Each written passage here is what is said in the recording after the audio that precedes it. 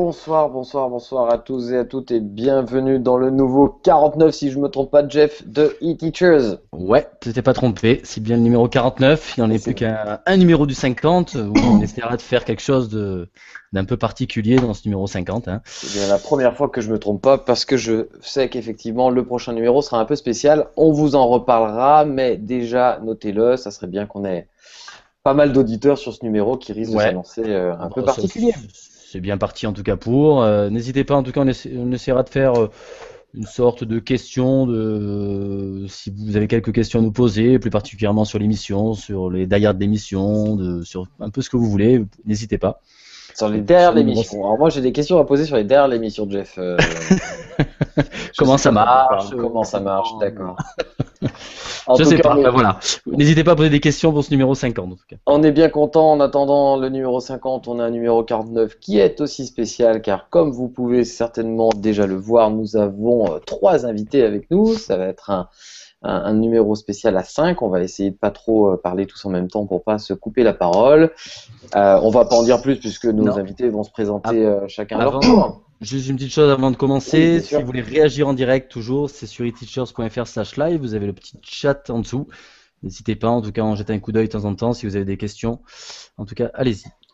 Donc ce soir, émission spéciale euh, un petit peu basée euh, sur, enfin pas un petit peu plus qu'un petit peu, qui va traiter de la classe inversée, euh, sujet dont, on a pu parler un petit peu au cours de, différentes émissions, mais sans vraiment rentrer dans les détails. Donc ce soir, on va quand même avoir, on a la chance d'avoir des spécialistes du, sujet qui vont nous raconter leurs travaux, leurs expériences, expérimentations. Donc n'hésitez pas à réagir puisque on le disait un peu en off, mais euh, on entend un peu, on entend beaucoup parler de classe inversée, mais on entend aussi beaucoup de bêtises, euh, ou en tout cas de, euh, de, on fait passer de la classe inversée pour quelque chose qui n'en est pas forcément. Donc je pense qu'on va on va tenter de mettre un petit peu une définition sur cette classe inversée et de voir comment ça peut se, se concrétiser. Voilà, en tout cas, bonsoir à tous et merci d'avoir accepté, à notre, accepté notre invitation. Eh ben, bonsoir. Bonsoir. Euh, on commence par les, par, les dames. Qui c'est qui veut se présenter euh, Aurélie? Ok. Alors bonsoir à tous. Euh, je m'appelle Aurélie Stoder. Je suis, pour ma part, je suis en lycée. J'enseigne principalement en, première. Et voilà, je me suis lancée dans la classe inversée parce qu'en français, en première, on manque de temps avec les élèves. Et puis, euh, donc, euh, par goût du numérique au départ, et ça s'est avéré un outil extrêmement extrêmement utile euh, pour la préparation du baccalauréat en français. Autrement, je suis également formatrice. Donc, j'essaye de travailler avec les enseignants bah, sur la notion de classe inversée et d'autres concepts, donc dans l'ensemble des matières. Donc, ça me permet d'avoir une petite vue générale aussi sur bah, sur le numérique euh, dans l'enseignement de manière euh, dans le secondaire principalement. Voilà. Très bien. On continue, on fait le tour de table Soledad? Donc euh, voilà, Soledad Garnier, je suis professeur des écoles en Charente-Maritime, en milieu rural, et j'enseigne en CM1, CM2. Et moi, j'ai décidé d'inverser ma classe parce que j'avais à l'époque une classe avec des, deux élèves extrêmement brillants, d'autres beaucoup plus fragiles, il me fallait du temps pour tout le monde et il fallait, enfin, il fallait que je change tout parce que, parce que ça me plaisait pas du tout. Et la classe inversée, ça a été la réponse euh, aux problèmes que j'avais cette année-là, mais euh, aux autres que j'ai rencontrés les années suivantes. Et euh, je suis maintenant une professeure des écoles qui s'éclate dans sa classe et je crois que mes élèves ont l'air de s'éclater pas mal aussi. Très bien. On reviendra ça là-dessus. Christophe? Bah moi, Christophe Le prof de maths en collège à Bourges au milieu de la France.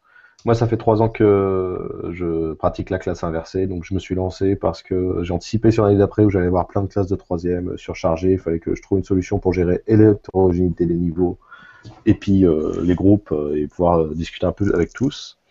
Et l'année dernière, j'ai participé au congrès de la classe inversée qui m'a fait rentrer dans, dans l'association Inversons la classe, dont je suis maintenant secrétaire général. Ah ouais. on aura le temps d'en reparler après de l'association, je pense. D'accord. tout à fait. On en parlera tout à l'heure. Pour commencer, en fait, euh, la question que je vous pose à vous trois, c'est dans vos pratiques, comment vous en êtes venu en fait à faire de la classe inversée? Est-ce que c'est en lisant des choses, comment vous en êtes venu à Est-ce qu'on ferait une définition de la classe inversée dans un premier temps, peut-être pour ceux qui. Eh ben non, justement, non, Avant, je voulais savoir, en fait, est-ce que pour vous, dans vos pratiques, vous faisiez déjà depuis longtemps des choses qui, aujourd'hui, avec la définition que vous, allez nous donner, s'apparentent à de la classe inversée, ou est-ce que c'est vraiment au cours de première lecture, de choses comme ça, que vous avez dit, tiens, ça m'intéresse et je vais m'y mettre? Parce que, euh, voilà, on entend effectivement souvent, ah, mais la classe inversée, on le faisait depuis longtemps, donc voilà, c'est un petit peu cette question qui nous permettra d'arriver vers une définition euh, tout de suite après. Bah écoute, moi je vais bien commencer hein, de mon côté. Euh, j'ai voilà, cherché vraiment une solution pour euh, gérer les élèves qui allaient arriver l'année d'après parce que j'étais plus forcément satisfait de la manière dont j'enseignais. Et j'ai entendu un bref reportage un coup qui, qui parlait de la classe inversée, justement dans le stéréotype sur lequel, contre lequel je lutte un peu maintenant, mais qui m'a permis de réfléchir. J'ai passé énormément de temps à faire des recherches. Et oui, c'est sûr qu'après, avec le recul, on se rend compte qu'il y a des choses qu'on faisait qui pourraient rentrer dans le contexte de la classe inversée. Alors, je vais pas détailler parce que vous tu veux pas la définition tout de suite, mais que, ce que je mets comme mot derrière, quoi. Mais euh, ouais, bien sûr, c'est, enfin, c'est une pratique pédagogique et c'est, une manière de repenser sa en partie sa, sa pratique pédagogique. Voilà, c'est pas, c'est pas considéré comme, euh, c'est pas quelque chose d'entièrement nouveau, c'est juste que, notamment, c'est boosté par euh, l'usage du numérique qui permet de faciliter largement les choses, à mon sens. D'accord. Les collègues, par rapport à votre. Voilà, comment vous êtes en arrivé un petit peu à, ça avant de nous dire vraiment en quoi ça consiste pour vous? Euh, Moi, ça a été un reportage aussi euh, au JT. J'ai trouvé que l'idée était. voilà, que c'était une bonne idée, mais au départ, j'ai pas vu du tout ce que moi je pouvais en faire. C'est venu plus tard. J'ai repensé à ce reportage et je me suis dit, bah oui, tiens, c'est peut-être la solution. J'ai beaucoup lu aussi, j'ai fait beaucoup de recherches avant de me lancer. Euh, et oui, il y a plein de choses qui sont pas nouvelles, mais dans lesquelles je n'avais jamais réussi à rentrer. Par exemple, le nom qui me vient à l'esprit, c'est Freinet. Ça m'a, ça fait très longtemps que ça m'intéresse, Freinet, mais c'est quelque chose qui m'a semblé moi difficile à mettre en place. Euh, j'avais besoin de beaucoup de temps pour euh, pour le digérer, pour arriver vraiment à comprendre tout l'esprit de voilà, de cette pédagogie. J'ai jamais réussi à y rentrer, alors que par le biais de la classe inversée, j'ai trouvé que c'était beaucoup plus simple et je mets maintenant en place des choses dans ma classe qui peuvent s'apparenter à, ça. Et euh, les pédagogies actives, par exemple, c'est pas du tout quelque chose que je faisais avant, mais j'y suis rentrée par là. La classe inversée, pour moi, c'est un peu un, engrenage. Au début, voilà, on, met son petit doigt dedans et puis euh, et, puis il y a plein d'autres idées qui arrivent et, on change euh, finalement tous les ans. Ça fait trois ans que j'ai commencé et tous les ans, je pas seulement d'une année sur l'autre, ça m'arrive aussi d'un mois sur l'autre, je modifie plein de choses. Oui, moi je, dirais que je suis assez d'accord avec mes collègues, c'est-à-dire qu'on peut, enfin, pour ma part, je enfin, comme je pense beaucoup de monde, j'ai du numérique euh, je, sais pas, j'utilisais des blogs, euh, je travaillais euh, il y a quelques années, ouais, c'était beaucoup, beaucoup les blogs. Et finalement, la classe inversée, ce que ça peut apporter quand on s'y met, c'est vraiment un changement pédagogique. C'est un changement de posture pédagogique. Donc finalement, on a envie de dire, on pourrait même faire de la classe inversée dans l'absolu sans numérique. Le numérique n'est pas si important que ça dans la classe inversée. pour moi, je trouve que ça a été vraiment un changement de posture pédagogique à bosser en amont du, en amont du cours avec les élèves en aval et différemment à l'intérieur du cours, et utiliser comme moyen le numérique. Et le numérique ne restant qu'un moyen de la classe inversée. Donc, allons-y, arrivons à cette fameuse définition pour vous, la classe inversée. En fait, moi, ma question au départ, c'était plutôt, voilà, est-ce qu'il y avait des pratiques que vous aviez avant de mettre de détecter cette pratique pédagogique qui, en fait, déjà s'apparentait un peu de la classe inversée sans, sans dire euh, ah bah ouais, ce que je fais c'est la classe inversée. Mais allons-y maintenant, dites-nous pour vous, enfin pas pour vous, c'est quoi la classe inversée? On y va. Je pense que la classe inversée, on va c'est pas c'est pas la caricature qu'on a de on fait les devoirs on fait euh, le cours à la maison et les devoirs en classe. Euh, alors il y en a beaucoup qui s'arrêtent à ça. L'objectif c'est vraiment de laisser tout ce qui va être tâches cognitives simple à la maison, des moments où les élèves peuvent travailler un peu entre guillemets sans nous, pour, en classe, voilà, laisser tout ce qu'il y a de plus complexe et euh, pouvoir euh, vraiment travailler euh, sur donc des tâches complexes et vraiment être dans une posture d'accompagnement. Je reprends le mot posture qui a utilisé Aurélie, c'est tout à fait ça quoi. On est là pour pour accompagner les élèves, ça change la position du prof parce que on vient rejoindre les élèves, on vient les accompagner et euh, on laisse tout ce qui était assez simple et qui finalement, euh, pour lequel les élèves n'ont pas forcément besoin de nous, on le laisse, euh, on le déporte en dehors du temps de, du temps de classe. Quoi. Ouais, je, et moi je te rejoins complètement dans, quand tu parles justement de, de changement de posture et je parlerai du mot-clé qui vient souvent avec la classe avancée, c'est la coopération. En fait, on coopère avec les élèves, coopèrent ensemble, travaillent ensemble, on travaille avec eux, on les accompagne. Et quand on, discute avec les élèves ou même de profs qui font la classe inversée, je trouve que ce qui revient est, le côté sympa et, plaisant pour les profs et les élèves, c'est souvent d'entendre dire ah ben maintenant mes élèves sont plutôt alors des sortes de collaborateurs, on collabore vraiment avec eux et on n'a plus cette distance avec l'élève et cette sorte de ouais cette sorte de, barrière infranchissable entre élève et prof d'un point de vue euh, pédagogique et même d'un point de vue de la discipline. Et ça, je trouve que pour moi c'est vraiment la classe inversée, c'est ça. C'est pas tant inversé, on fait justement les devoirs en classe euh, et on apprend le cours à la maison. C'est on, change vraiment la posture avec les élèves. Et ça, c'est je propose à tout le monde d'essayer la classe inversée, rien que pour avoir un autre rapport avec ses élèves mon sens. Hein. Donc, si je veux vulgariser le concept, euh, je rebondis volontairement euh, sur ça, c'est vraiment les élèves en amont vont s'approprier un contenu qui sera ensuite développé par vous en classe.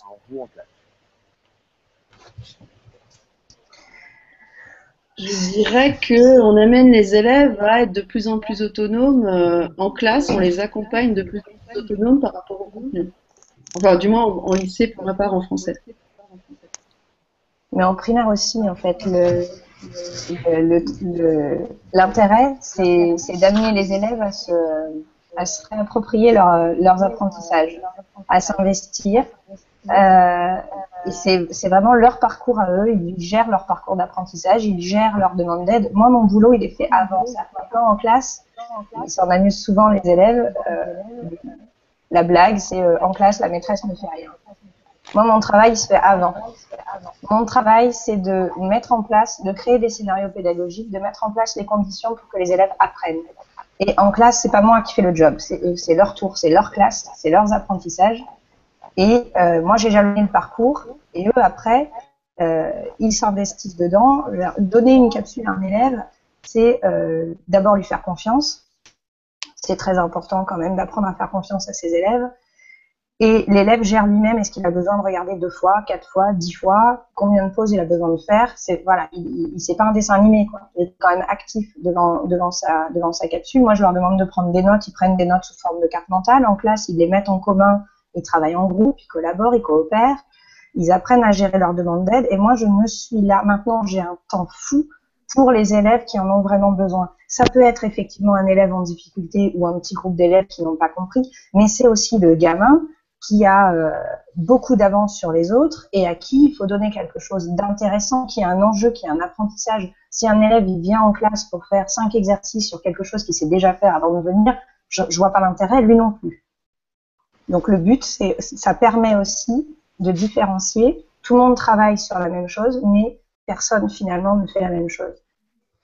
Donc tes, élèves, tous les soirs, ont des capsules à, regarder? Comment, ça, comment tu fonctionnes, toi? Alors, Vraiment toutes les, ah, Non, je fais que maths et français.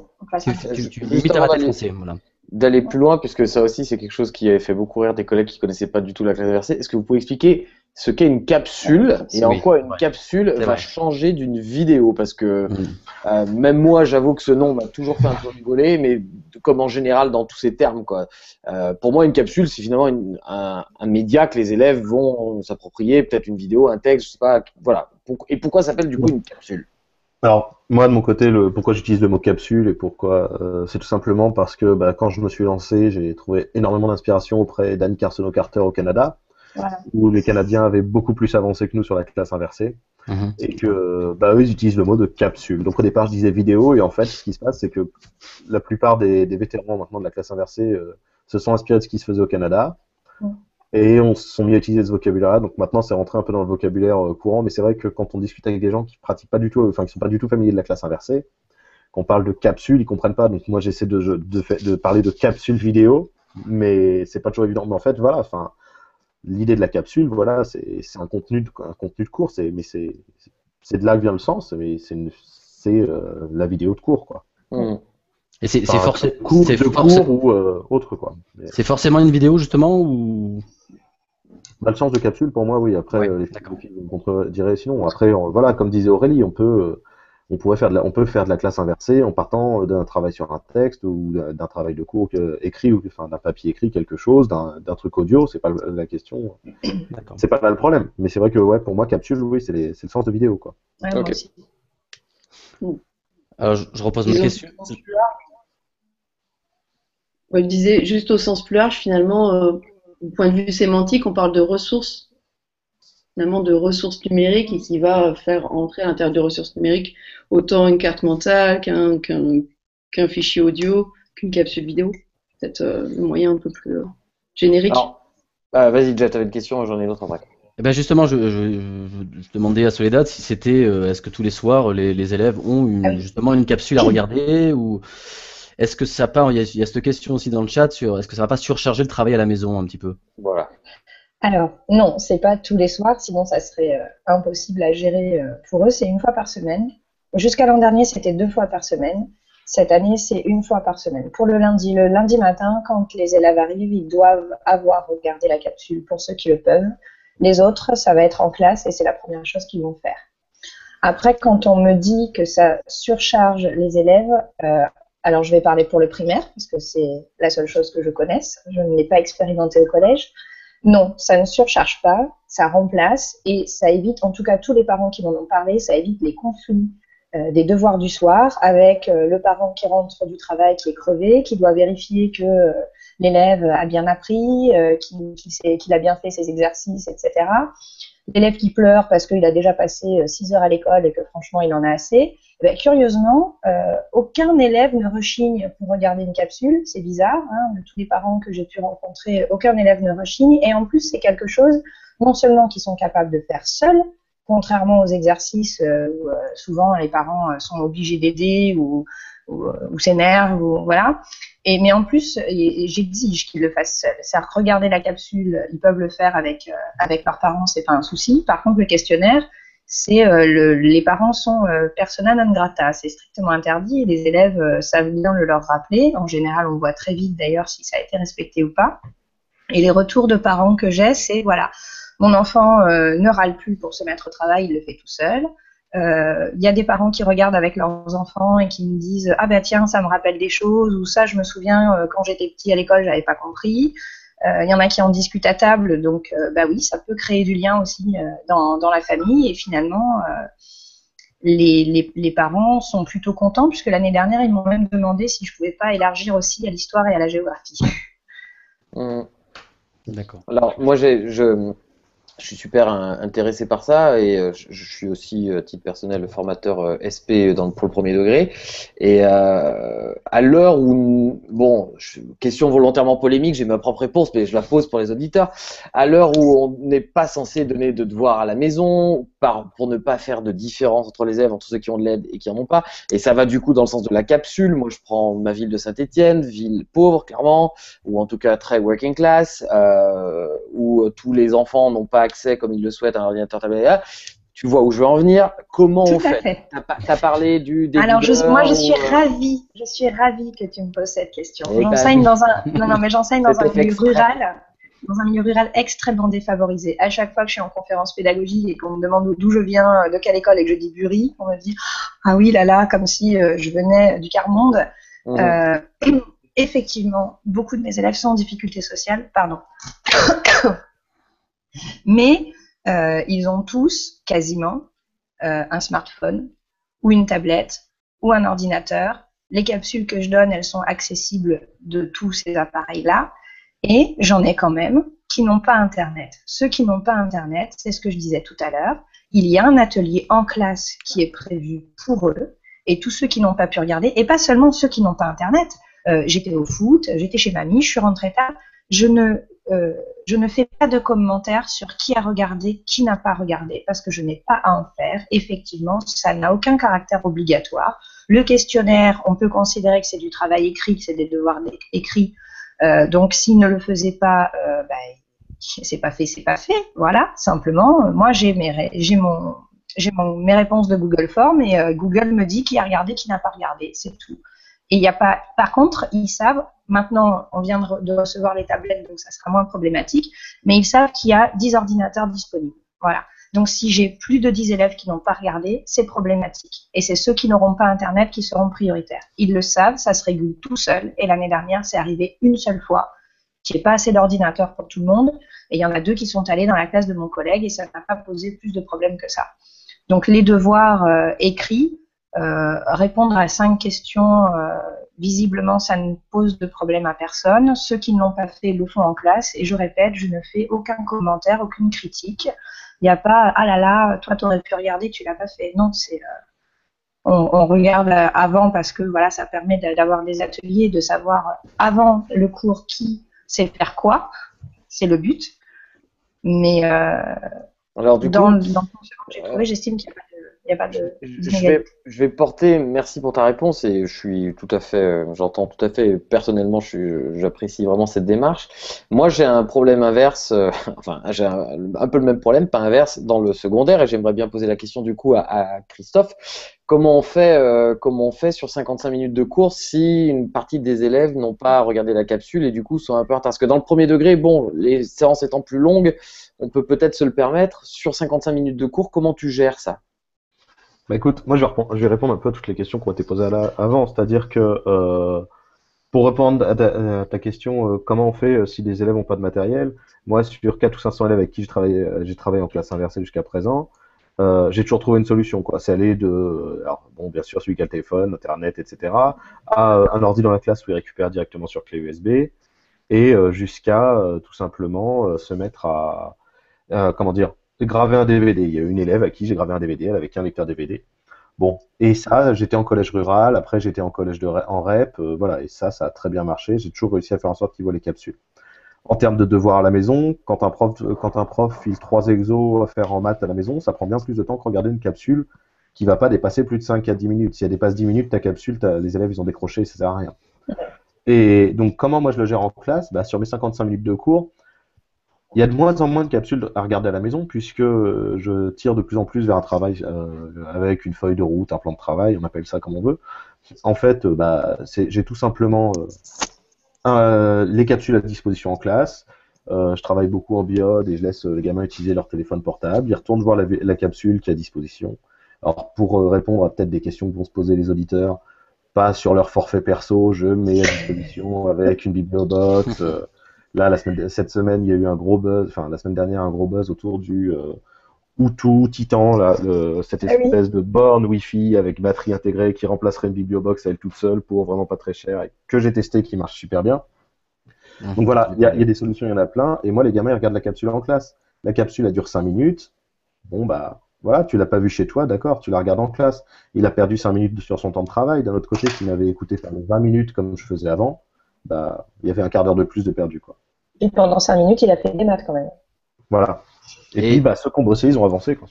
Et il y a toujours une interactivité, Oui, ça, c'est- une interactivité sur ta vidéo, euh, un questionnaire, toi aussi, tu fonctionnes comme Alors, ça? moi, j'ai jamais été fan du questionnaire, justement, parce que autant j'avais trouvé des moyens pour faire en sorte que les élèves puissent euh, regarder la, la vidéo, autant euh, bah, ils n'ont pas tous Internet et tout. Le questionnaire, c'était compliqué. J'avais essayé des petites feuilles à compléter, euh, de suivi, visionnage et tout.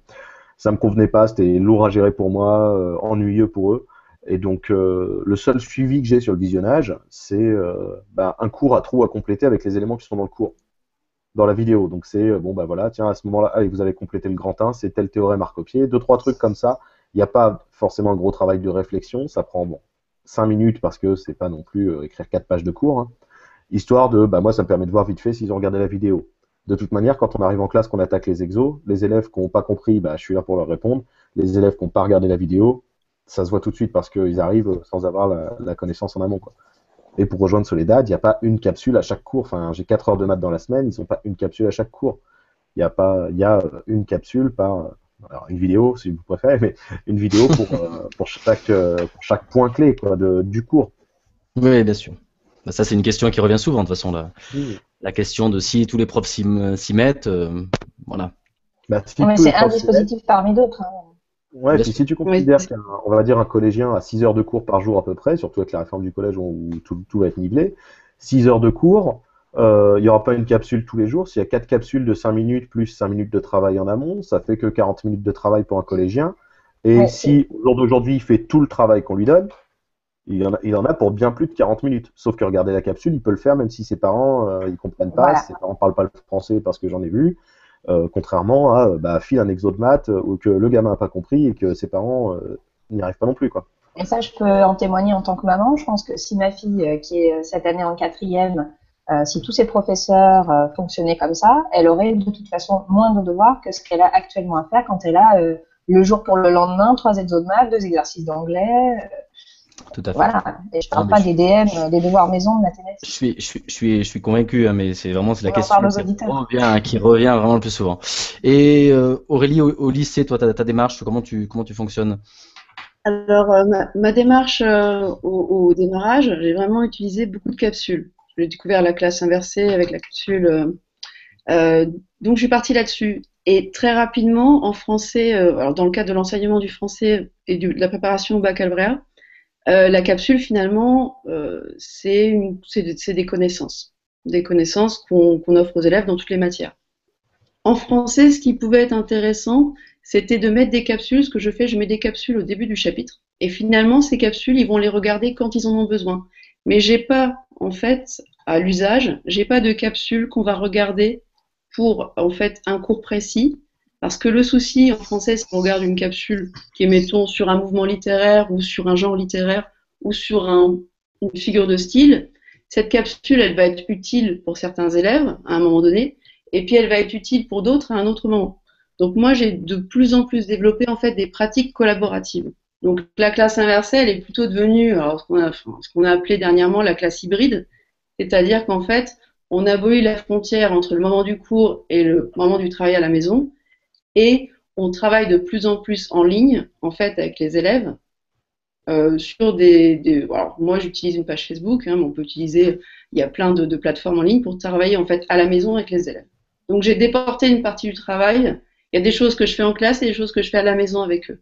Donc c'est, moi j'ai plutôt développé la classe collaborative que finalement l'usage de la capsule, qui à terme pour une matière, on va dire littéraire, n'était pas euh, quelque chose d'optimum.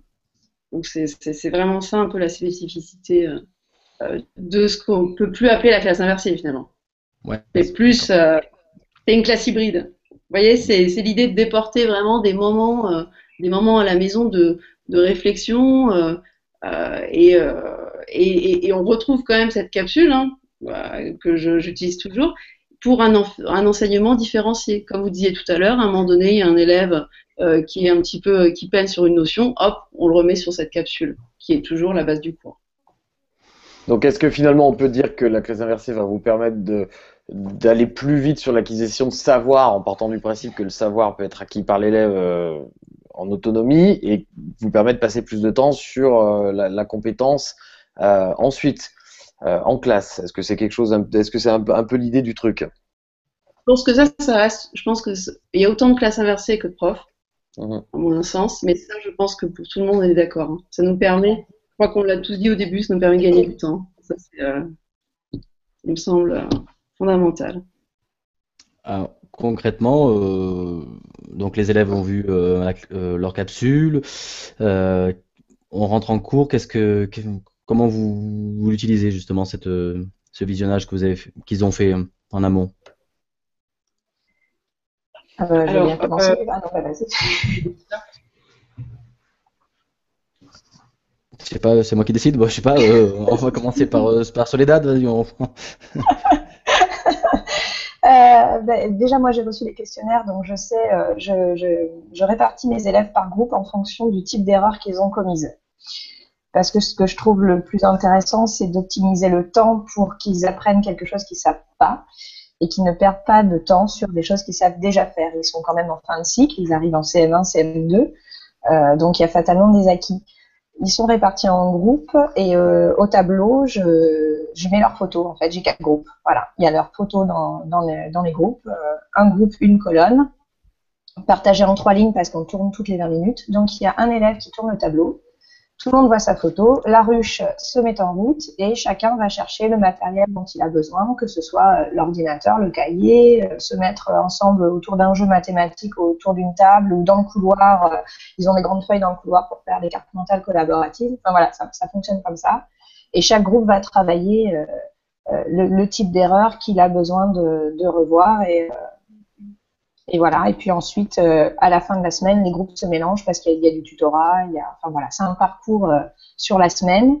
Et en fin de séance, les élèves vont créer eux-mêmes des parcours d'apprentissage à destination d'autres élèves. Alors le projet, c'est de monter un site pour des, enfants euh, déscolarisés ou hospitalisés.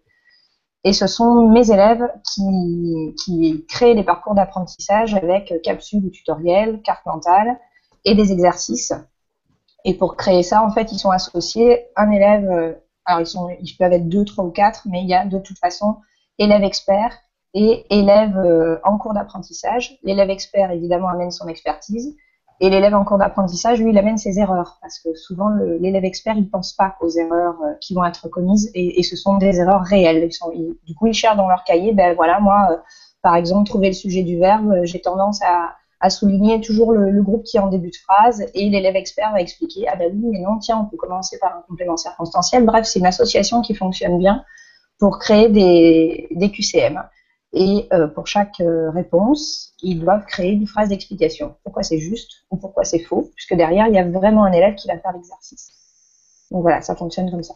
Moi, je trouve ça, je trouve vraiment c'est super ça. Je trouve que l'aboutissement de la classe, enfin de la classe inverse, en tout cas, de, quand ce sont les élèves qui sont ensuite amenés à créer des parcours, je trouve que c'est vraiment là qu'on a, on a gagné quelque chose et que, euh, ouais, c'est vraiment quelque chose qui, qui est passionnant ça, d'en arriver là. Bravo, beau travail. Merci. Ben, je pose la même question à Christophe. Comment tu utilises toi alors? Bah, moi, comment j'utilise, euh, il y, a, bah, y a deux aspects. Soit si je suis, soit ils ont regardé la capsule à la maison, je leur ai donné la capsule à regarder à la maison, et donc on arrive en classe. Euh, je vais euh, soit faire un retour en leur demandant ce qu'ils en ont retenu et qu'on puisse après se lancer sur des séances d'exercice, des choses comme ça. Soit on va juste vérifier vite fait le contenu du cours qu'il va compléter comme, comme suivi de vidéo en fait. Et après, ils se lancent sur le travail et je passe entre eux et je vais les voir les uns après les autres pour savoir où ils en sont, voir s'ils ont compris et les aider à avancer. Et euh, sinon, quand on est sur euh, dans, un, dans une démarche euh, qui suit un plan de travail, bon bah là comme en ce moment, les troisièmes, ils entrent en classe, ils s'installent, ils viennent chercher une tablette sur le bureau ou des écouteurs ou quoi, ils regardent quel le réseau, ils se connectent au réseau, ils bossent, ils avancent dans leur plan de travail. Et puis bah une minute avant la sonnerie, ils, plient leurs affaires, ils sont prêts à partir. Alors voilà, je leur laisse, bon, ok, je leur laisse de l'attitude, on, les laisse plier leurs affaires avant que ça sonne. D'un autre côté, ils ont bossé toute l'heure. Là, j'ai des élèves, euh, en 3 heures, ils ont fini quasiment la séquence. Alors que euh, bah, d'habitude, c'est un truc que j'aurais tenu sur 15 jours, et puis bah, ils auraient dû suivre doucement le rythme et tout. Donc euh, là, maintenant, je suis en train de préparer du boulot pour eux parce que bah, il me reste quelques heures à, fournir derrière. Mais voilà, l'objectif, je pense que c'est vraiment de développer leur autonomie. Quoi. Et après, moi, ça m'a. Enfin, la classe inversée, je pense aussi, il faut le prendre comme une porte ouverte sur, euh, sur une réflexion sur sa pédagogie. Et moi, c'est ça, c'est que en me lançant dans la classe inversée, je me suis, je me suis intéressé à plein d'autres choses.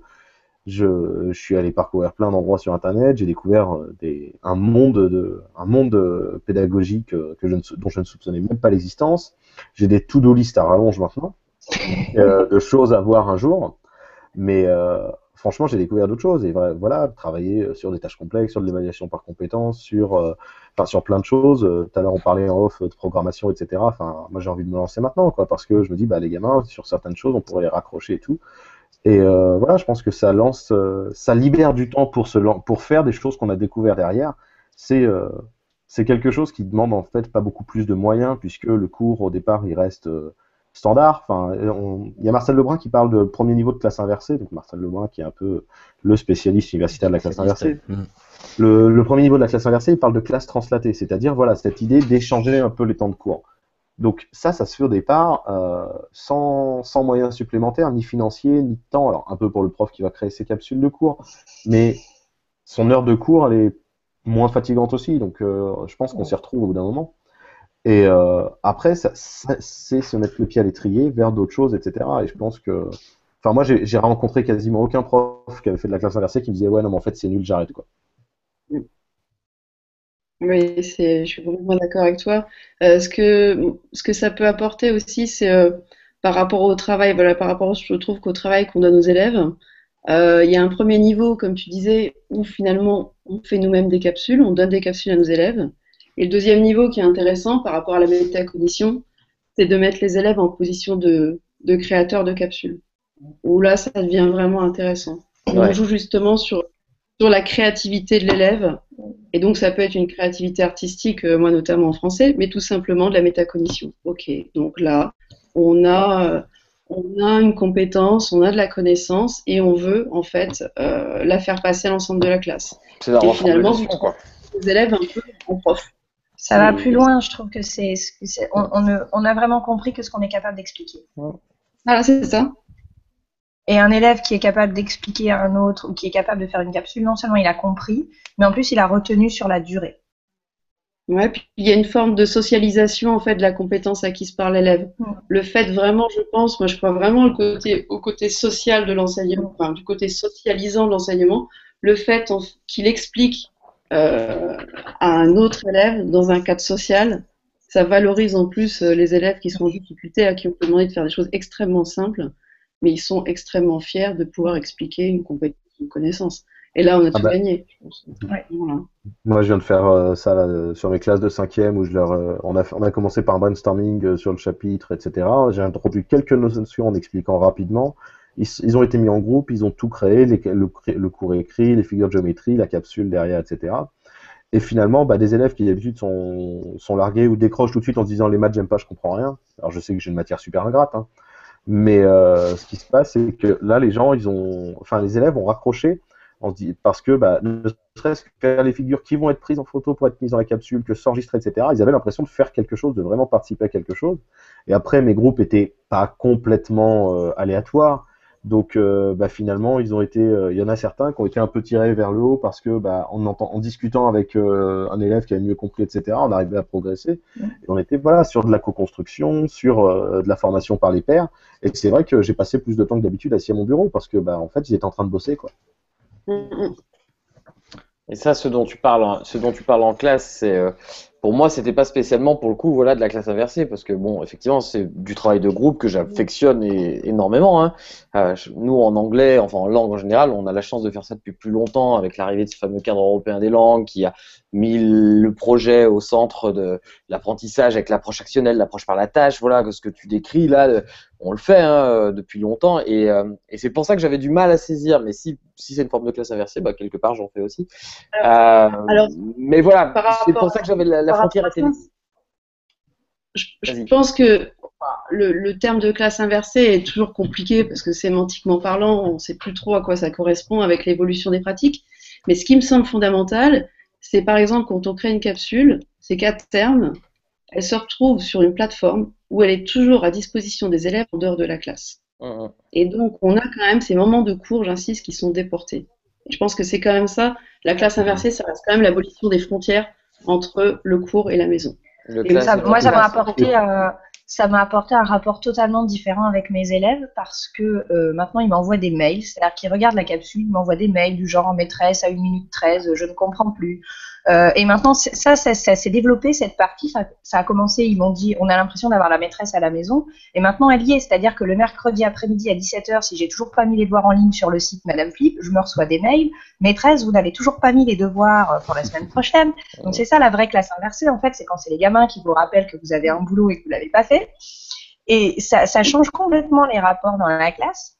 Et euh, les capsules, elles sont, je les ai mises aussi en accès libre sur le site parce que quand les CM2 passent en sixième, c'est eux qui me l'ont demandé, ils n'ont plus accès à la partie privée, mais par contre, ils ont toujours, c'est-à-dire qu'ils n'ont plus accès au questionnaire, mais ils ont toujours accès aux capsules.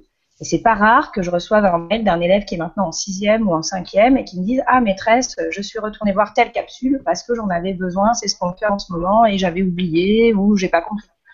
Donc c'est en dehors de la classe, mais c'est aussi une fois qu'ils sont plus dans notre classe. Et ça c'est euh, c'est fantastique. Et puis moi je reviens sur euh, ce qu'on dit au départ. Pour moi, en sens- le sens de classe inversée aussi, c'est euh, voilà les tâches qu'on pouvait laisser des fois la- les, des tâches qui pouvaient être complexes qu'on laissait parfois à la maison, on les ramène en classe. Et c'est ces, c'est ces temps de cours au-delà de parler voilà d'échanger le cours et les devoirs, c'est vraiment échanger ces moments entre de on va dire à bas niveau cognitif et à haut niveau cognitif, quoi, des choses qui sont complexes, ils sont vraiment laissés en classe. Et la construction, l'appropriation du cours qui se fait en classe, bah, plutôt que d'essayer de s'approprier euh, à la maison un cours, c'est pas forcément pareil. Alors, je dis pas que quand on, quand il y a un- une transmission, euh, entre guillemets traditionnel hein, du cours. on n'est pas dans l'appropriation, mais l'élève il n'a pas forcément pu réfléchir à ce qu'on était en train de lui expliquer, à l'intégrer. Mais voilà, et je, te rejoins tout à fait. Hein. Il y a plein de choses qui se faisaient avant, qui étaient déjà qu'on pourrait mettre sous l'étiquette classe inversée. L'avantage là aussi, c'est que l'élève, je trouve que ça le responsabilise aussi parce qu'il peut choisir à quel moment il regarde, à quel moment il se sent le plus disponible pour, euh, pour apprendre, pour aller voir. Euh, on rend en fait euh, sa tâche simple à l'élève. Mmh. Et comment, comment vous arrivez euh, Moi, le travail en autonomie, c'est un truc qui me, qui me. Je fais beaucoup de formations dessus qui m'intéresse beaucoup. Et je me retrouve en fait tout souvent à dire en formation que bah, le travail en autonomie, il s'acquiert pas pour le cours en autonomie. Il faut bien entraîner les élèves à travailler avec cette modalité-là. Qu'on est bien un moment obligé de leur montrer et pour le coup de les aider à, euh, à, travailler sur cette modalité. Comment vous faites au début avec des élèves euh, qui connaissent pas le système de classe inversée, qui vont pas forcément avoir le réflexe, parce que à Soledad, tu parles d'élèves qui a priori commencent à bien connaître la modalité et à fonctionner avec, et c'est super. Comment ça se passe au début pour arriver à les, à les mettre un peu euh, dans le droit chemin, si je puis dire, pour arriver à, à, à avoir ces automatismes-là, puisque, euh, et encore plus dans le secondaire, quand nos élèves chaque année viennent de différentes classes, j'imagine toi Christophe que des fois tu as des élèves d'un à un autre que tu retrouves, et puis d'autres qui viennent de complètement d'autres classes et qui n'ont pas du tout ce système-là. Donc comment on fait? Vous y allez graduellement, petit à petit? Il y a des, euh, des capsules pour gérer ça?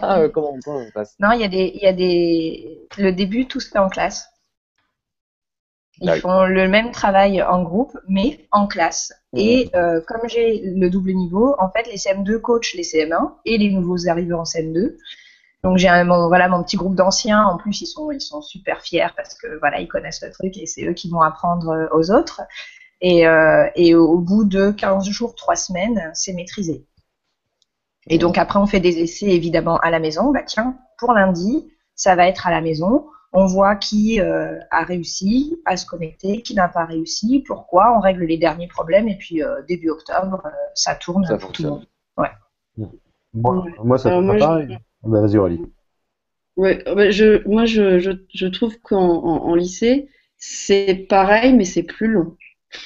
Ah. c'est plus long parce que je, je euh, on peut, enfin, je peux avoir affaire à des résistances, euh, à la question de la motivation qui peut être délicate à mettre en place, et euh, donc à des gens qui peuvent être plus réfractaires à ce, à, ce, mode opératoire.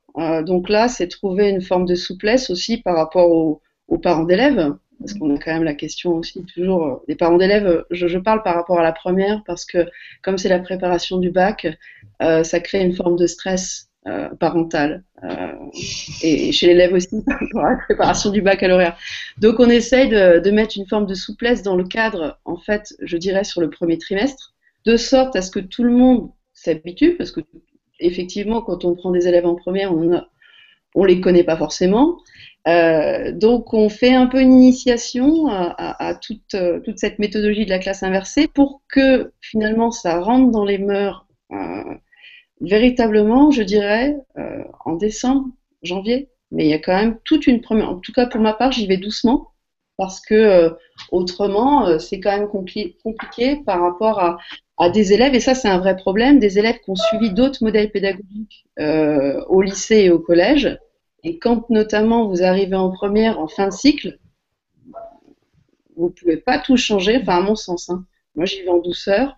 Je prends vraiment un trimestre euh, pour les accompagner. Mais je fais comme, je fais comme vous aussi, c'est-à-dire qu'on fait beaucoup de choses en classe au démarrage pour que ça passe doucement. Ben, enfin, moi je suis d'accord avec Aurélie, c'est sûr qu'il y a des fois ça me déprime quand je vois ce que les copains euh, qui sont profs des écoles savent faire avec leurs élèves et ce que nous on leur force à faire en. qu'on leur force à faire, enfin, assis-toi sur une chaise face au tableau, tais-toi et, surtout t'as pas le droit de te lever jeter ton papier eh, ton d'école. Puis à côté de ça, je vois l'autonomie dès la maternelle et, et au primaire. Je me dis que là, il y a un souci. Et donc après, Aurélie, toi, tu récupères au lycée. Ils ont été euh, formatés. Presque bridés, voilà, formatés, bridés pendant 4 ans euh, de collège. Donc c'est sûr que c'est un peu compliqué. Euh, après, voilà, je pense que justement, ça, alors c'est intéressant de pouvoir surfer sur l'autonomie qu'ils ont de, de, la primaire. C'est pas forcément évident. Moi, je préfère prendre des quatrième, troisième. Je préfère, j'ai un meilleur contact avec les grands, donc voilà, c'est sûr que je peux pas les prendre dès la sixième pour euh, profiter des, des, avantages des profs des écoles. Mais euh, en termes de bah, comment se mettre au travail, bah, je leur explique. Alors l'année dernière, ça a été un peu compliqué parce que j'étais nouveau dans, dans l'établissement. Et donc, euh, où quand je me suis lancé, j'avais le crédit euh, de, que les élèves m'accordaient et que les parents m'accordaient. Là, quand je suis arrivé et que j'ai parlé de ça, les élèves ils m'ont regardé, ils se sont demandé qui c'était ce mec. Après, euh, bah, j'ai commencé, enfin voilà, bon, on a discuté, et puis bah voilà, ça a marché, c'est-à-dire qu'au départ, bah, comme dans tout début d'année où on surveille les cahiers, les machins et tout, il y a une espèce de séance un peu de flicage où on surveille qu'ils ont bien regardé la vidéo pour voir s'ils s'y sont mis. On bosse en classe, on explique, on voit pourquoi, comment et tout. Puis quand arrive le premier devoir, où finalement bah, ils peuvent réécouter la veille du devoir les explications du prof à la maison parce qu'il y a eu la capsule qui a été faite, ils disent qu'il y a peut-être un intérêt. Après, il suffit, enfin, voilà, en passant sur une séquence, qu'il va y avoir un plan de travail ou quoi, où on bosse sur l'autonomie, parce que bah, quand au bout de deux, au départ, je les laisse un peu tourner, puis au bout de deux heures, je lui dis attends, t'es l'exo 2 là. Tu te rends compte que t'as fait deux exos en deux heures? Et il se dit ah ouais, mais par rapport à tout ça, c'est rien quoi. Et donc ils se, ils se remettent en question, ils se mettent au boulot, et voilà, en faisant développer leur autonomie, et puis euh, en discutant avec eux, mais voilà, j'essaye de pas leur imposer euh, de manière contrainte et forcée, parce que sinon, au collège, c'est l'âge où ils décident qu'il n'y a rien qui doit venir euh, de manière forcée, ça passe pas. C'est vrai. Et euh... ouais, moi j'ai une question déjà. Même, on n'a pas parlé trop de technique, mais j'en vois qu'il y en avait. Comment, comment on fait une capsule? J'ai envie de vous poser la question. Alors, écoute, il va falloir faire un deuxième équipeur. Après, je, peux aussi faire de la pub pour le congrès classe inversée qui a lieu le 1, 2, 3 juillet avec une journée entièrement dédiée à la création de capsules. Et euh, sinon, bah, techniquement, on le fait avec l'outil sur lequel on, est, euh, on se sent à l'aise. C'est-à-dire qu'il y en a, ils sont à l'aise sur Windows, et ben j'utilise des outils sur Windows. Il y en a, ils adorent leur iPad, ils font ça avec euh, leur iPad. Actuellement, on arrive à trouver des solutions partout. C'est-à-dire qu'il y la plupart des gens, par exemple, savaient faire ça, vous savez faire un PowerPoint. Bon, bah, il y a, y a ou un diaporama quelconque et eh ben hop, juste on enregistre son, son, écran vidéo, on a fait une capsule. C'est pas la capsule la plus jolie du monde, mais on s'en fout. On n'est pas en train de faire, on n'est pas en train de faire un concours de capsules quoi. C'est-à-dire qu'on est en train de créer quelque chose qui va être destiné à nos élèves, peut-être plus au-delà quand on les met en ligne, mais on est en train d'essayer de leur transmettre quelque chose et je pense que plus que le problème technique où on trouve des pistes parce que sur téléphone, sur tablette, sur tous les systèmes d'exploitation, on trouve euh, comment faire des capsules, il y a 5000 façons. Je pense que y a, il faut accepter de ne pas viser la perfection et par contre bien se comprendre qu'il faut se, se, limiter sur le temps de travail. Quoi. Après, je dis ça, c'est sûr que mes premières capsules, enfin, c'est, euh, je sais pas, ça c'est deux, trois heures à faire une capsule, je l'enregistrais dix fois, je bégayais, je recommençais, ça m'énervait, puis après je me suis dit, mais en fait, en classe, je bégayais, bon bah tant pis, je peux aussi bégayer sur une, sur une capsule, au moins ils savent que c'est moi. Et, une question aussi, est-ce qu'il faut que ce soit forcément vous ou vous pouvez réutiliser des capsules existantes? Exactement ce que j'allais dire, puisque justement, tu as terminé en disant euh, que c'est moi en fait? Et euh, je pense que c'est un intérêt qui vous voit, bien évidemment, mais est-ce que pourquoi pas utiliser les choses existantes? Moi, il me voit pas. Moi, il me voit pas non plus. Hein. Il me voit pas non plus. Il voit mon écran. Euh, mais même si je partage mes capsules et que je sais que des collègues les utilisent, et tant mieux, c'est fait pour ça. moi, je trouve important que ce soit moi qui leur parle. C'est ma voix, c'est moi leur maîtresse, c'est mes trucs, c'est mes explications. Et, euh, et c'est voilà, c'est moi qui leur parle. Et même si mon cours il est à la maison, c'est quand même moi. Quoi. Après, chacun euh, fait comme il veut, mais personnellement, ça, me, ça me gênerait euh, d'utiliser. Et puis, l'autre personne n'a pas la même manière d'expliquer que nous. Ou, voilà. ouais, moi, je, je, je complètement Soledad. Hein. C'est-à-dire que moi, je me retrouve à. Enfin, je pense que quand je me suis lancé, c'est ça. J'ai réussi à obtenir le crédit des élèves parce que bah, ils, ils me font confiance en classe et euh, la confiance qu'il m'accorde, il la retrouve parce qu'il voit mon écriture et il la reconnaît suffisamment tellement euh, mauvaise. Euh, ils, ils, entendent ma voix. Alors, je me filme pas, je m'intègre pas euh, en vidéo, je pourrais, ça m'intéresse pas, on n'en est pas là. Je sais que mes capsules sont réutilisées, tant mieux. Mais euh, moi, j'ai besoin de ce contact avec les élèves mm. et justement, ils arrivent et ils me disent Ouais, mais vous avez dit que. Ouais. Bon, et, et je peux rebondir sur ce que j'ai dit et euh, on peut en parler et la méthode c'est expliquer comme moi. Après j'ai un côté, euh, on dirait pas forcément, mais un peu psychorigide où j'aime bien que les choses soient faites comme j'ai envie.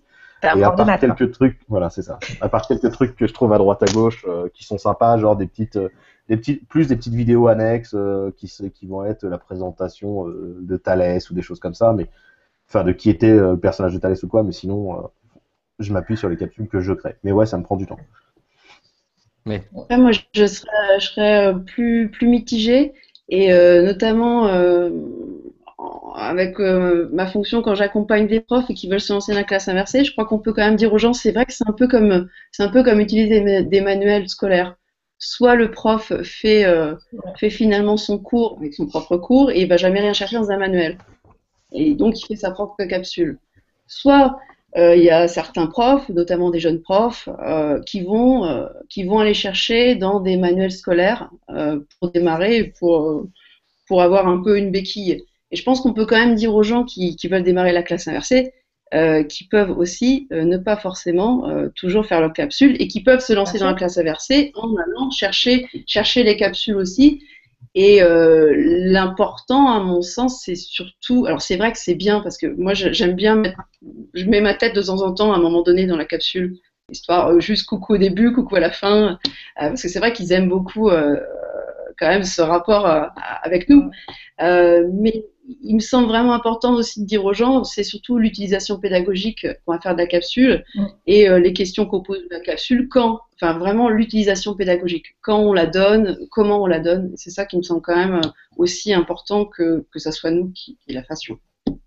Et d'ailleurs, il euh, faudrait qu'on mette en lien le. Il y a un outil qui est sympa, je trouve, pour utiliser des, des, capsules et en faire quelque chose. C'est le site, le site pardon, TEDx vous voyez ce site euh, qui permet en fait, euh, on met une vidéo, on met une capsule et on peut mettre en fait un petit quiz, un petit quiz derrière très facilement. Et ça, pour les gens qui n'ont jamais, qui sont pas branchés techniques, je crois que l'outil se prend en main en 5 minutes. Donc ça peut être un moyen d'aborder la classe inversée quand même. Enfin, pour la démarrer, je pense que c'est des outils qui sont pas mal. Oui, maintenant, bah, comme Christophe, hein, ça fait trois ans que, je fais ça. Les premières années, euh, on n'était pas très très nombreux ou alors on ne se connaissait pas. Maintenant, on est suffisamment nombreux à partager, à mutualiser nos capsules pour qu'elles soient utilisées par d'autres. Moi, je me dis, euh, les premières, quand je passais 4 euh, heures ou 5 heures à en faire une, c'est quand même dommage qu'elle n'ait servi qu'à mes 30, 30 élèves. Autant qu'elle serve à quelqu'un d'autre. Bon, n'ayez pas peur, je ne mets plus 5 heures. et, justement, vous parliez de temps d'une capsule. Est-ce que vous limitez à un temps particulier? 4 euh, minutes, c'est le grand maximum. Pour en tout cas, pour les miens, 10-12 ans, euh, j'essaye de faire du 3 minutes maxi. Parfois, je vais jusqu'à 4, c'est très rare. Pour les 17 ans, c'est pareil. Hein. C'est 17 ans, euh, plus de 5 minutes, c'est pas possible. Ouais, moi j'ai essayé hein, quand, de regarder. Il y a des capsules de maths qui durent 35, 40, 50 minutes. Euh, et tu décroches au bout de combien de temps, toi, en, tant que prof de maths En tant que prof de maths, je m'ennuie euh, très vite. voilà. en fait, j'ai le problème que je suis comme les élèves, c'est-à-dire que je me suis trop impliqué dans l'usage du numérique, et donc je suis comme eux, je zappe super vite. Eh ben oui. une, je tiens plus une conférence de deux heures, je, je galère souvent. Et là, c'est un peu, c'est un peu la même chose, quoi. Mais euh, et c'est d'ailleurs souvent quand on entend parler de classe inversée, il y a plein de gens qui nous parlent de la Khan Academy. Alors la Khan Academy, c'est super euh, dans le fond, voilà, j'adore, j'adore le principe de mise en place, etc. Après, on a des capsules qui sont peut-être des fois difficiles à utiliser en classe parce que on est sur un, sur un format qui, qui, je pense, correspond pas forcément à nos élèves, ou au moins à mes élèves. Parce qu'on est sur quelque chose d'un peu long et euh, il y a besoin de rythme en fait. Avec les élèves, il y a besoin de rythme. Mais comme en classe, on sait bien qu'un prof, euh, il fait son show quand il est au tableau et c'est ça, quoi. Mais l'avantage aussi de. Une capsule aussi. L'avantage de la capsule, euh, moi je dis ça parce que cette année je, commence, euh, voilà, j'ai mis le doigt dans l'engrenage, hein, c'est ce que je disais tout à l'heure, donc cette année je découvre les intelligences multiples. Euh, l'avantage de la capsule, c'est qu'elle parle aux élèves qui sont auditifs, aux élèves qui sont visuels, enfin il y en a un petit peu pour tous les goûts. Et c'est quelque chose qu'on n'a pas forcément quand on fait son cours soi-même en direct. Et on est toujours, en tout cas pour ma part, vous avez pu vous en rendre compte, je suis extrêmement bavarde. Donc les élèves ne tiennent pas. Si j'explique en classe, c'est pas possible. Là, ça m'oblige à choisir mes mots, à être brève, et je sais que j'ai trois minutes maxi. Donc si j'y arrive pas, eh ben, je recommence. Donc là, on a vu beaucoup d'avantages. Est-ce qu'il y aurait quand même des, points faibles un petit peu dans cette euh, classe inversée, des choses où il faudrait que vous améliorez, il y a des choses que vous voulez modifier Ah bah tout le temps. Qu'est-ce qui, d'après vous, ne marche pas actuellement, que vous auriez... Bah, moi, je, moi aussi. Alors, bon, c'est pas un vrai point faible, mais en fait, justement, ça me fait découvrir tellement de choses qu'il me manque encore du temps, quoi. J'ai déjà bien pris et là, je m'en sors plus. J'ai l'impression de passer énormément de temps et euh, ça me donne toujours des tonnes de pistes, d'idées, etc. Euh, après, en point faible, euh, bah, enfin voilà, c'est pas, je suis pas en train de dire que la classe inversée, ça va arrêter la fonte des glaces, etc. On n'est pas là, on n'est pas dans le prosélytisme de base. Mais euh, c'est sûr que bah, y a des élèves en grande difficulté qu'on n'arrivera pas forcément à raccrocher. c'est sûr. Et euh, c'est pas, si on pouvait faire un reproche, ouais, c'est pas la méthode qui correspond à 100% des élèves, sauf qu'on n'a pas de méthode qui correspond à 100% des élèves. C'est pas une baguette magique, ça n'existe pas. à raccrocher plus d'élèves. Ouais, moi. Et euh, ouais, si si s'il y a un truc, euh, un point négatif, ouais, c'est le temps d'investissement au départ. Mais avec plein de points positifs qui font qu'en fait, ça donne envie de continuer. quoi. Bah, au départ, c'est un euh, David Bouchillon en parlait l'année 1 comme euh, la- l'année euh, infernale. Oui, l'année 1, c'est l'enfer si on crée ses capsules soi-même. Mais bizarrement, c'est ce que disait Christophe tout à l'heure, tous ceux qu'on connaît et qui le font n'ont jamais eu envie de revenir en arrière. Donc ça veut dire que quelque part, le temps qu'on y passe, ça vaut le coup quand même. Alors oui, la première année, euh, quand on crée toutes ces capsules, euh, c'est l'enfer. On y passe des heures carrées, on se couche hyper tard, on se lève hyper tôt. Et puis là, je suis en année 3, je pourrais me dire que je vais me reposer parce que toutes mes capsules sont faites et que, j'en ai plus à faire. Mais en fait, non, parce que ça me donne plein d'autres idées, je découvre plein de choses nouvelles et, du coup, je passe encore du temps sur autre chose pour améliorer le dispositif. Pour répondre, le but, c'est de répondre au mieux aux besoins des élèves. J'ai une question sur le chat, là, euh, un peu technique, de Sofle, qui nous dit sur quel support vous diffusez vos capsules et que faites-vous des capsules lorsque vous commencez une nouvelle année scolaire? Christophe a répondu sur le chat, mais tu peux peut-être répondre euh, pour ceux qui n'y seraient pas. Eh ben, moi j'ai fait, j'ai longtemps cherché le meilleur outil. euh, et euh, en fait, alors je, je vais pas dire qu'il y a un meilleur outil. Moi, je me suis arrêté sur YouTube parce que euh, c'est quelque chose qui est accessible sur les ordinateurs, sur les tablettes, sur les téléphones, sur les consoles. Enfin, j'ai des élèves avant de leur c'est leur partie de jeu qui va durer toute la nuit, ils regardent la vidéo. Bon, ils arrivent en ayant quelques bases pour le cours, c'est déjà ça. Ils sont toujours aussi fatigués, mais bon, c'est un autre problème. Euh, donc voilà, je me suis arrêté là-dessus avec le souci de, il y a pas de, il y a des pubs, il y a des contenus associés que bah, quand ils sont sur YouTube, c'est vite fait de glisser vers une vidéo de je ne sais quel YouTuber qui est vachement quand même plus intéressant que mon cours de maths, ce que je peux entendre. Mais voilà, je me suis arrêté vraiment Ouais. sur ce truc-là. Ils Après, n'ont pas besoin de toi pour glisser euh, sur Voilà. autre chose, je veux dire. Après, franchement, euh, Après, euh, c'est vrai que ça, pose- ça peut poser des questions en termes d'outils, donc voilà, il y a une réflexion qui se porte là-dessus à différents niveaux. Euh, ensuite, qu'est-ce que je fais du contenu? Bah, Tout simplement, je crée une playlist par année, je laisse toutes les capsules en ligne, parce que justement, comme disait Soledad, j'ai des élèves, ils sont arrivés au lycée, ils ont besoin de revoir comment, je sais pas, on résout une équation à deux inconnus. Bon, bah, ils savent qu'il y a la capsule en ligne, ils y retournent voir, et, il sera, et ça ira plus vite pour eux de se réapproprier ça, plutôt que de, de découvrir une nouvelle vidéo avec éventuellement une méthode qui n'est pas expliquée pareil, qui est la même, mais pas expliquée pareil. Après, au niveau de mon site où je référence aussi les, les vidéos, etc., bah, c'est simple. À la fin de, de- de l'été, je passe toutes les- tous mes sites en, tous mes articles en privé et je les republie un par un euh, au fur et à mesure de l'année en les éditant un petit peu. Quoi. D'accord. Ouais, bah, Moi, même j'utilise chose, hein. YouTube aussi. Pardon, prie. Aurélie, vas-y. Euh, oui, bah, même chose. hein. Malheureusement, en ayant tout regardé, euh, on est quand même Et, euh, victime, euh, enfin, victime et. Google, hein. Google avec avec euh, avec YouTube. Et puis euh, et puis derrière, pour ma part, je les je les publie sur un Drive. Voilà, Mm. parce que c'est quand même l'outil qui est le qui est euh, le plus performant et sur tous les terminaux. Et en plus qui voilà, où on a en plus des outils collaboratifs derrière. Donc moi, j'adorerais ne plus Ouais. passer par Google, malheureusement. Euh, c'est quand même le plus efficace. Ça m'embête de le dire, mais c'est comme ça. Bah non, moi c'est pareil, hein. Google est mon ami.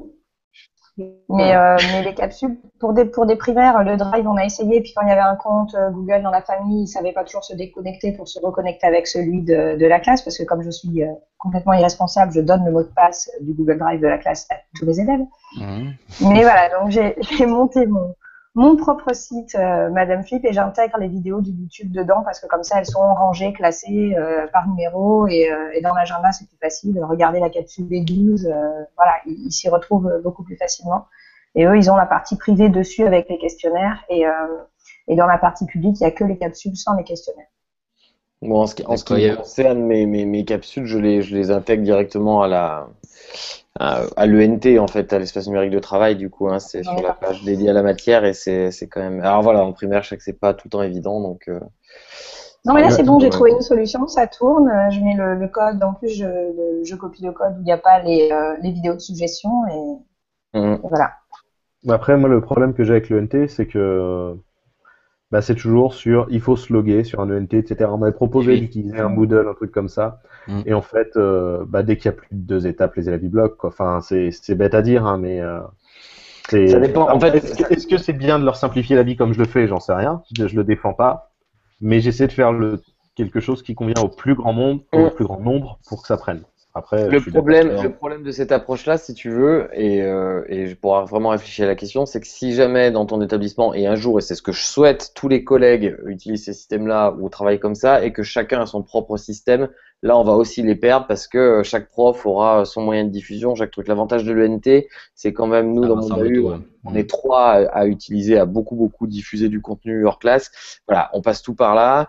Et comme on a vraiment cette politique avec le cahier de texte, et que le dans notre collège, encore une fois, on bosse vachement là-dessus. Au début de l'année, on fait vraiment une razzia sur les mots de passe. On est sûr que tout le monde les utilise et on, on met toutes les informations, même essentielles, là pour les forcer un peu au début à aller là. Et ça fonctionne. Mais je sais que c'est loin, loin, loin d'être le cas. Non, mais le, On l'a eu, quoi. Ouais, mais parce que l'ENT, tu arrives à avoir un ENT qui marche bien sur appareil mobile, etc. sur le Alors- NT, on peut avoir aussi des pages publiques. hein. On n'est pas obligé de faire des. Voilà, Ouais, ouais, ouais, donc ouais, en fait, public, ça en revient un peu à, faire, à mettre sur le site de l'établissement, d'accord. Voilà. Bah, nous, on n'a même plus de site d'établissement, en fait. C'est-à-dire que c'est c'est ça, quoi. C'est une page, il y a un- voilà. Et non, par contre, tu as raison. Pour l'instant, il n'est pas, il est pas responsive et, euh, et c'est un peu le, un peu le souci, mais on y travaille, on y travaille. Après, pour une vidéo, euh, bon. Ouais, voilà, voilà. Mais bon, c'est bien, c'est bien, super. Merci. On arrive à l'heure, de- à, à l'heure. On va pas tarder à. à- Alors, j'ai- j'aimerais juste quand même euh, parler un petit peu de l'association de Oui, voilà. de Inversons la classe. Qu'est-ce que tu veux en dire un petit mot, Christophe, puisque c'est comme ça que je t'ai, moi que je t'ai contacté. Eh ben, écoute, euh, Inversons la classe, c'est une association qui a qui s'est montée euh, à la base sur la demande d'enseignants, c'est-à-dire qu'au départ c'était euh, une amicale et puis c'est devenu une association où euh, les enseignants avaient besoin de se fédérer, de regrouper euh, des ressources et tout. Donc on a pour objectif d'informer, de former la classe inversée, de, de faire une veille qu'on pa- qu'on partage, etc. D'essayer de fournir des outils aussi euh, dans ce thème-là, tout autour de la classe inversée, de centraliser les informations et euh, bah, de favoriser les rencontres et la mutualisation, la formation entre pairs. C'est pour ça que l'année dernière, le gros événement de l'année, ça a été l'organisation du CLIC 2015, donc classe inversée le congrès, où on a accueilli euh, près de 200 personnes, on en a laissé plein sur liste d'attente qui n'ont pas pu rentrer parce qu'on était limité. Alors, euh, on s'est dit que dans ce cas-là, il fallait peut-être essayer de délocaliser le congrès. Donc, au mois de septembre, euh, ça a fait beaucoup de bruit sur les réseaux. Il y a eu la CLIS, classe inversée la semaine. On a touché quand même 18 académies, 12 pays. On est allé du Canada à Taïwan, avec euh, certains invités de prestige d'ailleurs. Donc voilà, là on a, ça commence, on a touché à peu près 2500 personnes donc, euh, qui ont participé aux différents séminaires, aux classes ouvertes qui ont été organisées. Soledad, elle a passé une semaine avec euh, plein de gens dans sa classe. Donc il y avait des coordinateurs locaux euh, pour chaque académie à peu près. Donc ça a plus ou moins pris parce que voilà, euh, il y a des fois, euh, on se demande qui est l'association Inversons la classe parce qu'en gros, il y a deux ans, on ne connaissait pas. Maintenant, on est à pas loin de 150 adhérents, on prend de plus en plus de place. Cette semaine, bah, je fais un peu de teasing. euh, Il y a la newsletter qui va sortir euh, vendredi, la première newsletter. Donc on part sur un format mensuel. Vous pouvez vous abonner sur le site d'Inversion la classe. Et bien sûr, il y a le congrès 2016, donc CLIC 2016, qui va avoir lieu le 1er, 2 et 3 juillet. J'en ai parlé tout à l'heure. Alors 1er et 2 juillet, ça va vraiment être des journées euh, tournées pédago, avec, euh, enfin des journées pédagogiques avec tout ce qu'on va pouvoir voir sur, autour de la classe inversée. C'est vraiment euh, pour tout le monde. C'est pas que pour les praticiens de la classe inversée. C'est pas que pour les gens qui en font depuis 10 ans. Enfin, pas 10 ans, mais voilà, c'est tout le monde. Ceux qui veulent se lancer, ceux qui voudraient euh, découvrir, etc. Il va y avoir pas mal d'échanges. Il va y avoir euh, des conférences plénières, des retours d'expérience de gens qui débutent, de gens qui pratiquent depuis 2 ans, 4 ans.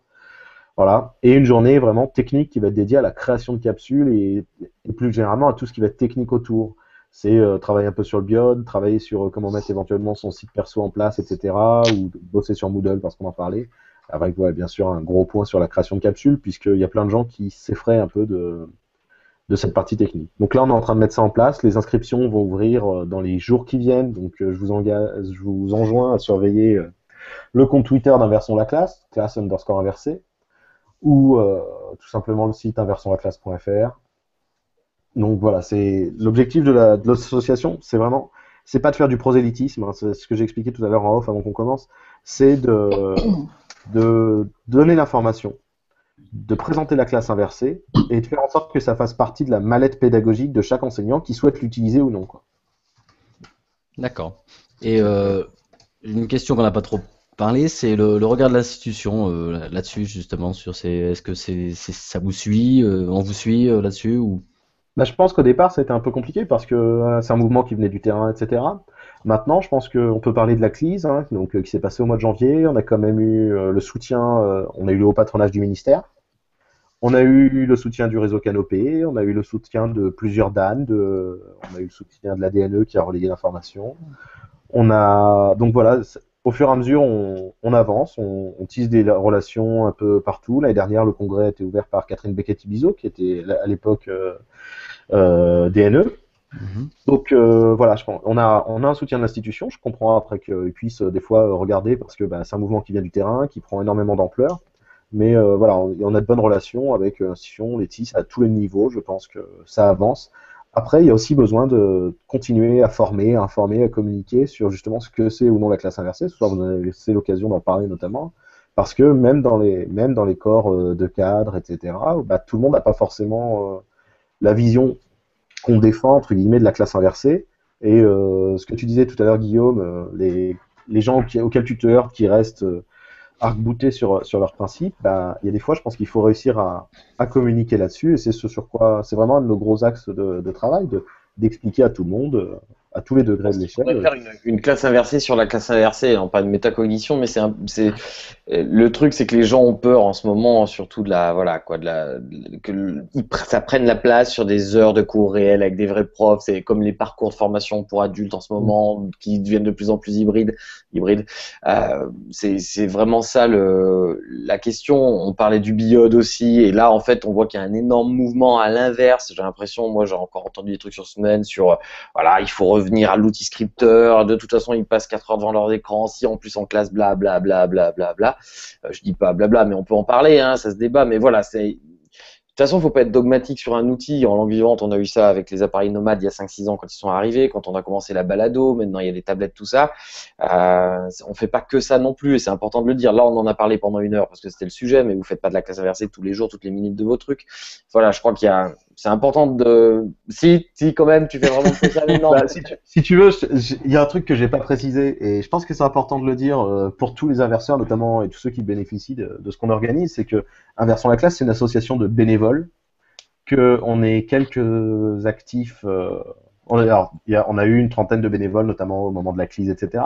Après, il y a des gens qui sont très très actifs qui, et ça nous prend énormément de temps. C'est pour ça qu'on fait un appel euh, à, contribution. Tous ceux qui veulent venir nous aider sont les bienvenus.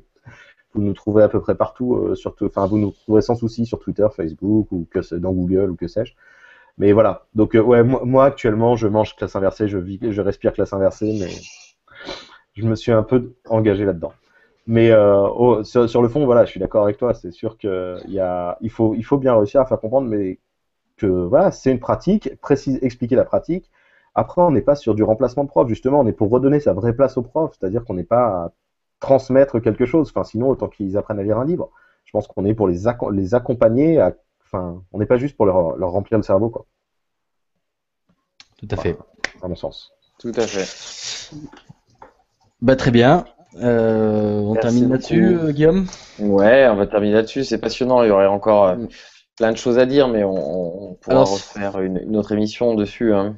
Alors, comme chaque fin d'émission, si on veut en savoir un peu plus sur vous, personnellement, ou c'est le moment de donner vos blogs, vos, liens.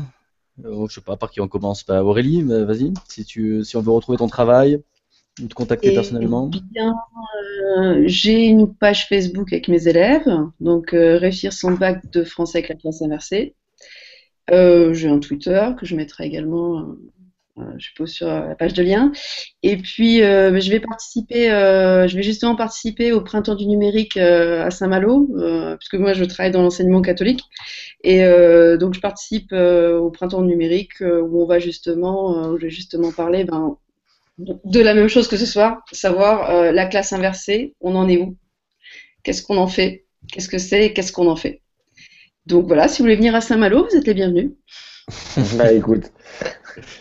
Hein euh, Soledad, c'est qu'on peut euh, Tout est sur euh, madameflip.com. Ok. C'est simple, c'est efficace, c'est bien. Christophe euh, bah déjà, l'association, on la retrouve sur inversonslaclasse.fr, tout attaché. Euh, et sur, euh, sur Twitter, euh, classe-du 8 inversé. Et moi, on me retrouve essentiellement sur Twitter, at profchrismat. Et puis sur le site qui va avec chrismat.fr, mais surtout sur mon compte Twitter. Eh bien, très bien.